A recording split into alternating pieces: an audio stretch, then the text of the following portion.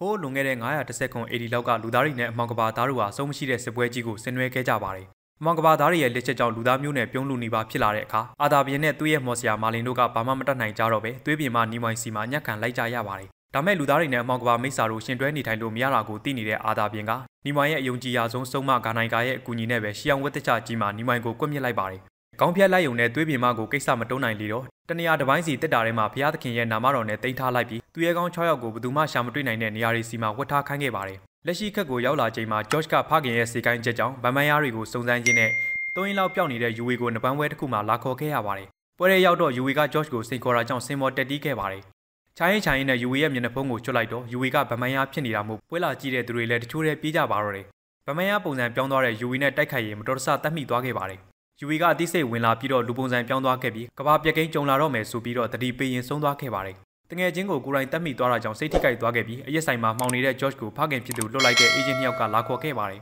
။ George ကလည်းသူ့ကိုရေတကြီးလှမ်းခေါ်ရတဲ့အကြောင်းရင်းမေးကြည့်တဲ့အခါမှာဖခင်ဖြစ်သူကသူတို့လိုပဲအမောင်ကဘာသားတွေကိုနှိမ်နှင်းနေတဲ့အဖွဲ့တစ်ဖွဲ့က George ရဲ့အကူအညီလိုအပ်လာတာကြောင့်တွားကူညီပေးရမယ့်အကြောင်းပြောပြခဲ့ပါတယ်။နောက်တစ်ဆင့်မှာတော့ George ကအင်္ဂလန်မှာရှိတဲ့ Usaris ဆိုတဲ့နေရာကိုရောက်လာခဲ့ပါတယ်။အဲဒီမှာ George ကအလုပ်တူတူတွဲလို့ရမယ်။အဒန်ဒေါက်တာအိုဝင်ကတ်နဲ့အဒတ်တို့နဲ့တွေ့ဆုံခဲ့ပါတယ်။ အဲဒီနောက်မှာတော့ရှီတုံးကဘလူးအယိုးကောင်းတွေကိုလိုက်ပြရင်းနဲ့ဘလူးသုံးကောင်က New Forest မှာတောင်းကျမ်းနေတဲ့အကြောင်းပြောပြရင်1943ခုနှစ်လောက်ကဘလူးတစ်ကောင်ကိုတုတ်တင်ခဲ့တဲ့တပ်ပုံကိုပြခဲ့ပါတယ်။ George ကဦးလေးတို့အသက်မကြီးလာဘူးလားဆိုပြီးမိတော့အကြမ်းမြင့်ဆရာမကြီး Elizabeth ရောက်လာပြီးဘလူးတွေကိုတုတ်တင်ဖို့နဲ့ကဘာပြက်ကိန်းတားဆီးဖို့အတွက်ဆွမ်းအားကြီးဝိညာဉ်တစ်ခုကသူတို့ကိုရွေးချယ်လိုက်ပြီးအသက်ကြီးနှုန်းကိုရှော့ချစေခဲ့တဲ့အကြောင်းပြောပြခဲ့ပါတယ်။ George ကစိတ်ပူနေတဲ့အရာတွေတကယ်ဖြစ်လာမလားဆိုပြီးမိတော့ Elizabeth ကမင်းမွေးလာတယ်လေဆိုပြီးပြန်ဖြေခဲ့ပါတယ်။ George ဖြစ်ပေါ်လာပုံကိုပြောပြရမယ်ဆိုရင်တော့ဒုတိယကမ္ဘာစစ်ပြီးကနေနာဇီတို့ကလည်းစစ်ဆူတောက်တောက်လဲအောင်ရှုံးနေတဲ့အချိန်ပေါ့ဗျာ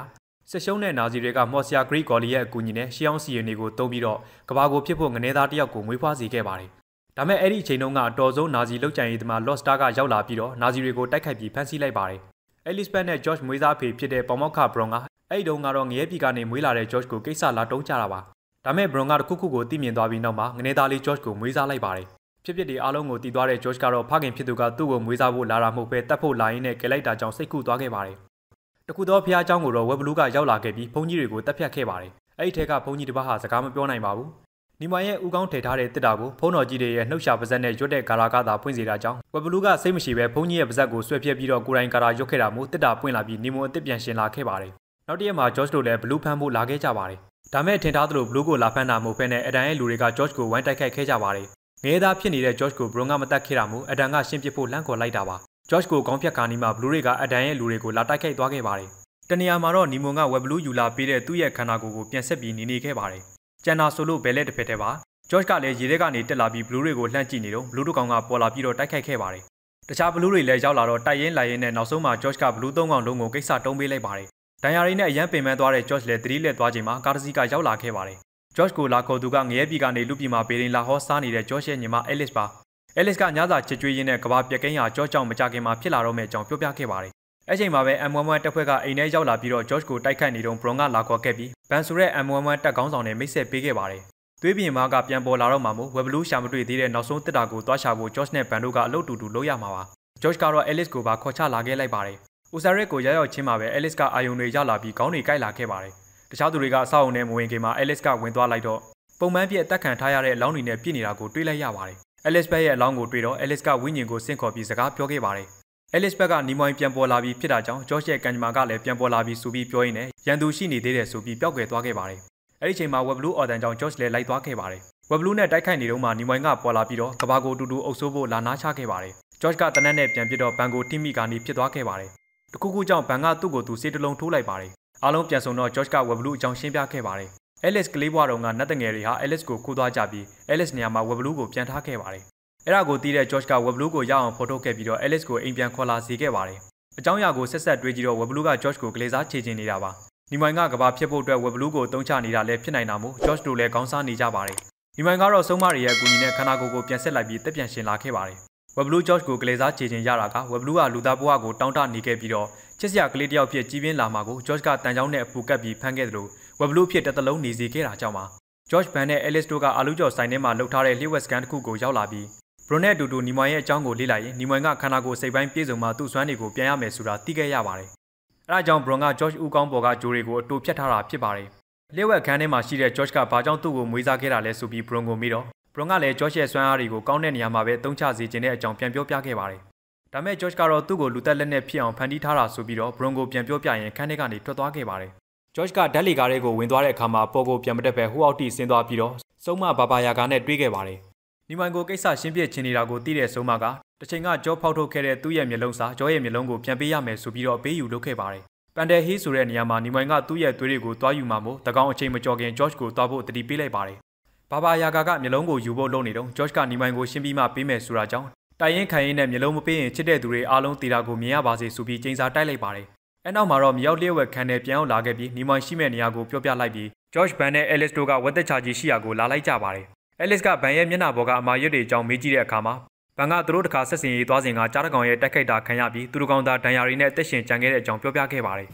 တောတစ်ခုကိုဖျက်ပြေးရချိန်မှာတော့အယိုးစုတွေကလာတိုက်ခတ်ခဲ့တာမို့ပြန်ချခဲ့ရပါတယ် ဘန်ကပုံစံပြောင်းမလို့ဖြစ်လာတာကြောင့်ဆေးမြန်ထိုးလိုက်ရပါတယ်နီမိုင်ကသွေးတွေအားလုံးပြန်ရပြီမို့မြောက်ကဘာသားတွေကလည်းအောင်ပွဲခံဖို့ရောက်လာကြပါတယ်ကာနိုင်ကာနဲ့ညီမတွေရောက်လာတော့နီမိုင်ကတက်ပစ်လိုက်ပြီးကာနိုင်ကာကိုတော့ဂျော့ကဘာတူလဲဆိုတာသိအောင်လုပ်ဖို့ပြောခိုင်းလိုက်ပါတယ်အဲ့ဒီချိန်မှာပဲဂျော့ကတနက်နဲ့လန့်ဆိုတာမို့နီမိုင်ကောင်းတစ်ချမ်းပွင့်သွားခဲ့တယ်လို့အမောင်ကဘာသားတွေလည်းတချို့ရဲ့လက်ပြေးပါတော့တယ်နီမိုင်ကဘာတက်ကိုတီထောင်မယ်ဆိုပြီးထွက်သွားချိန်မှာအဲလစ်ကရောက်လာတော့အစိတ်ချုံနဲ့ပြစ်ခံလိုက်ရပါတယ်အဲလစ်ကိုကယ်ဖို့တဲ့ကနိုင်ကာကဘလက်ဖင်းဆိုတဲ့နေရာကကမ်မာတစ်ခုစီသွားခိုင်းခဲ့ပါတယ် ဘန်ကမယုံဖို့တားပေမဲ့ဂျော့ကတော့အဲလစ်ကိုကယ်ဖို့ရအောင်သွားခဲ့ပါတယ်ကမ်မာရဲ့ကူနေကြီးထဲမှာအာသာပြင်ကိုတစ္ဆာဖောင်းမိတာကြောင့်ချုပ်ကန်ထားရတဲ့မော်ဆီယာမာလင်ရဲ့အလောင်းရှိနေပါတယ်အလောင်းကိုဖွင့်လိုက်တာနဲ့မာလင်ကပြန်နှုတ်ထလာပြီးတော့အဲလစ်ကိုအနာပြအောင်လုပ်ပေးလိုက်ပါတယ်အဲဒီနောက်မှာတော့ဘန်နဲ့အဲလစ်ကိုအိပ်ပျော်စေပြီးဂျော့ကအာသာပြင်ရဲ့မျိုးဆက်ဆိုတာကိုပြောပြခဲ့ပါတယ်မျိုးဆက်ပြတ်သွားပြီလို့ယူဆထားတဲ့အာသာပြင်မှာလူမသိသူမသိသမီးတယောက်ရှိနေခဲ့ပါတယ်သမီးကငရဲနှက်ဆိုးနဲ့ချစ်ကြိုက်ခဲ့ကြပြီးဂျော့ကိုမိဖွားခဲ့တာပါ လူသားတဝက်ဖြစ်နေတဲ့ဂျော့ကအာသာဘင်ရဲ့သွေးသားဖြစ်တာကြောင့်ဘယ်နီနဲ့မဆိုကဘာကိုအုပ်စိုးမဲ့ဘရင်ဖြစ်ရမယ့်အကြောင်းမာလင်ကရှင်းပြလိုက်ပါတယ်အဲ့လိုပဲနီမိုင်ကိုတတ်နိုင်တဲ့သူကလည်းကြော့တယောက်ထဲသာရှိပါတယ်နီမိုင်ကိုတတ်နိုင်တဲ့အာသာဘင်ရဲ့ဓာတ်ကိုယူလိုက်တဲ့အခါမှာမီနီကာစီးပြီးတော့သူကိုယ်တိုင်လူသားတွေကိုတုတ်တင်နေတဲ့ပုံရိပ်ကြောင့်ဓာတ်ကိုလွတ်လိုက်ပါတယ်မာလင်ကလည်းဘင်ဖြစ်မဲ့သူမရှိတာကြောင့်အယိုးကြောက်ဖြစ်သွားပြီးတော့ငှက်ပုံစံဖြစ်ပြောင်းသွားခဲ့ပါတယ်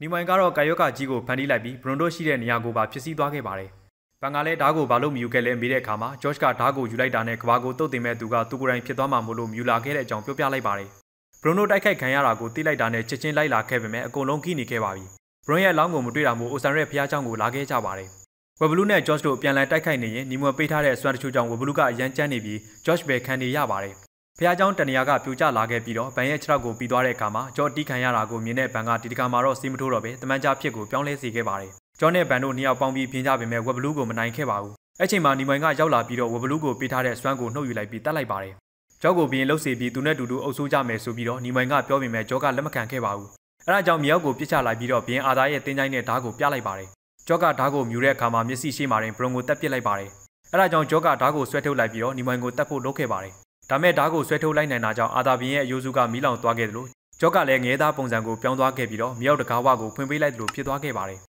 မြောက်ကဘာကအကောင်ကြီးတွေလည်းထွက်လာကြပြီးတော့မြို့ကိုစတင်ဖြစ်စည်းပါတော့တယ်လူပြန်ဖြစ်သွားတဲ့ဘန်ကအထူးကြည်စံနဲ့ George ကိုတတ်ဖို့ချောင်းနေတော့ Alex က Bron ရဲ့ဝိညာဉ်ကိုဆင့်ခေါ်ပြီး George ကိုငြိမ်းချမ်းရေးတရားဟောလိုက်ပါတယ်။ကျော်လည်းအသိဝင်လာပြီးနီမွန်ရဲ့ခေါင်းကိုဖျက်လိုက်တာနဲ့မြောက်ကဘာကနေထွက်လာတဲ့အကောင်တွေလည်းမြေကြီးထဲပြန်ဝင်သွားကြပါတယ်။စကားတွေများနေတဲ့နီမွန်ရဲ့ခေါင်းကိုတော့ George ကမြောက်ကဘာထဲပစ်ချလိုက်ပါတယ်။တာဖားနှစ်ယောက်လည်းငြိမ်းချမ်းရေးရသွားပြီးတော့ George ကလည်းသူ့ကြောင့်လာတသမားကြီး Bron ကအဖေတယောက်ဖြစ်လိမ္မာသွားတာကိုတီးသွားခဲ့ပါတယ်။ ကျော်ရဲ့ဆယ်ရဲမှန်ကိုတီးလိုက်ရတဲ့ဘန်ကလည်းစီဗလင်းကိုလွှတ်ပစ်လိုက်ပြီး George ကိုတတ်ဖို့မကြိုးစားတော့သလို Alice နဲ့လည်း okay သွားခဲ့ပါတယ်။6လကြာပြီးချိန်မှာ George တို့၃ယောက်ကလည်းလူစိုးကိုင်းတစ်ခုကိုသွားနိုင်နေခဲ့ပါတယ်။အဲ့ဒီမှာရှိတဲ့ဖန်မောင်းကြောင်တစ်ခုထဲမှာတွေ့လိုက်ရတာက Antiosapian ဆိုတဲ့တရဝါတကောင်ဖြစ်နေတာကြောင့် George နဲ့ Van လည်းမျိုးလုံးတွေပြူသွားရင်ဟေးပွိုင်းရုပ်ရှင်ပတ်တဝန်းကပြီးသွားခဲ့ပါတယ်။လူကြီးမင်းတို့လည်းခေါင်းပေါ်မှာဂျူလာလာလေးထွက်ချင်မမကြီးတွေကိုရွေးကြိုက်လိုက်ကြပါ။အဆုံးထိနားဆင်ကြည့်ရှုပေးခဲ့ကြတဲ့အတွက်ကျေးဇူးထူးတင်ရှိပါတယ်ခင်ဗျာ။